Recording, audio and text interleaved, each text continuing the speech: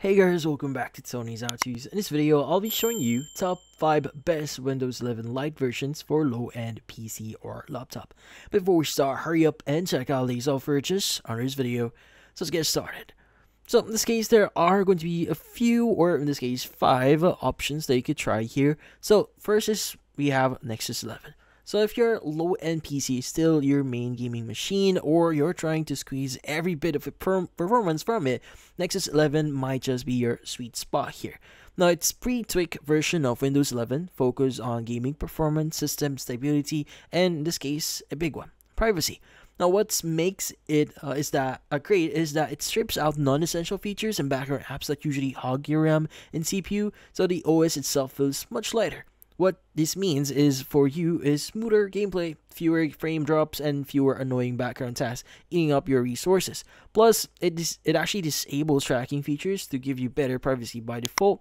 So in this case, if you uh, hate all the bloatware that comes with Windows and just want a clean, fast OS for daily use and gaming, well, Nexus 11 is a solid pick here. Now, next is we have Tiny 11. Now, Tiny 11 is the starter pack for anyone who just wants Windows to work without slowing everything down. It's based on the latest Windows 11 23H2, which in this case, but cut down to the essentials, we're talking about only around like 8GB of storage needed, which is less than half of the standard Windows install. Now, if you're working with limited storage or older drives here, in this case, this is going to be game changer. Includes basic uh, tools like Notepad, Calculator, Paint, and Microsoft Store. So while it removes the clutter, it still lets you install what you want. In this case, there's also Tiny 11 Core, which is even smaller and around 3 gigabyte and still functional. So in this case, that's insanely efficient. Whether you're using an old laptop as a daily driver or just need a lightweight OS for casual use, Tiny 11 is as friendly and effective as it gets. Next is we have Optimum 11. Now, in this case, if you're not gaming but still want a super clean and efficient system, uh, in this case, Optimum 11 might be the best set it and forget it option here. It's all about balance, fast performance, and minimal me memory usage here, and just enough features to keep you productive. The big headline here is that it takes up only about like 4.5 gigabytes of this space here, which is incredibly lean for Windows 11. Now, unlike some stripped down builds here, Optimum 11 still supports UWP apps and the Microsoft Store, which means you can use apps like Netflix, WhatsApp, and even install Teams if you need to, and Edge Windows Defender are optional.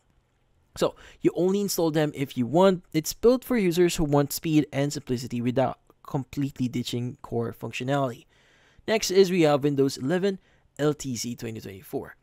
Now, in this case, this one's a big, a bit different here. So Windows 11 LTC 2024, L LTSC 2024, which is long-term servicing channel, is originally designed for special device uh, devices sectors like healthcare, banking, or retail. But in this case, this one is crazy stable and has very few background services and gets security updates for 10 years. And that's rare for Windows version. Now, now in this case, here's why it's awesome for low-end hardware. One, Microsoft lower the minimum system requirements here.